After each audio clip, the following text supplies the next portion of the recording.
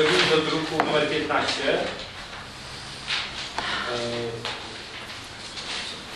Druk dotyczy wniosku o skierowanie tramwaju nie tylko na Górkę Narodową, bo mieszkańcy naszego największego osiedla w dzielnicy czekają na tramwaj 15-20 lat.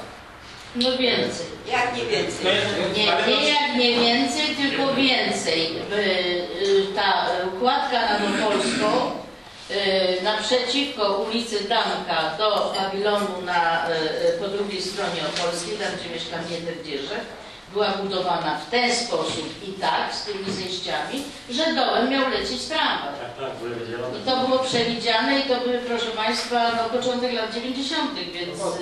Tak uzasadnieniu.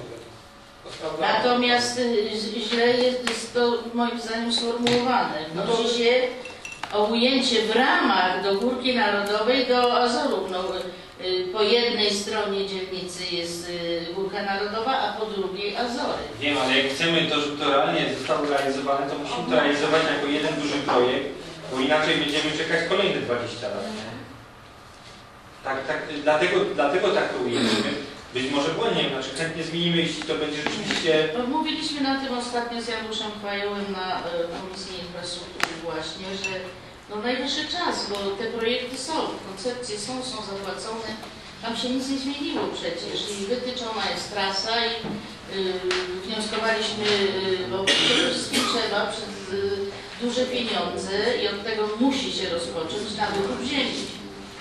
Bo to musi być pas ziemi kupiony zarówno pod y, tramwaj na Azory, jak i pod tramwaj. Tam nie ma rezerwy.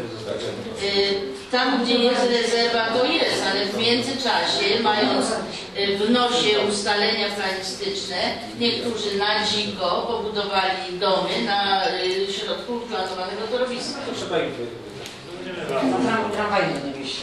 Tak, y, i w jakim są. Jakaś poprawka do tego, jest to... Nie, nie, bo to, bo to mi tak nie dyskutować. Jest to zrozumiałe, tylko że no, to są dwie odnogi w dwie różne strony. Ale tak ujęte, żeby to było jedno zadanie, cel swój spełnić. Dobrze, w takim razie przechodzimy do głosowania. Kto z Państwa jest za?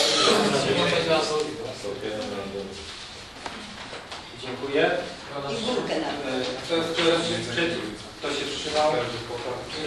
Jeden wstrzymujący, 12 za, 0 przeciw.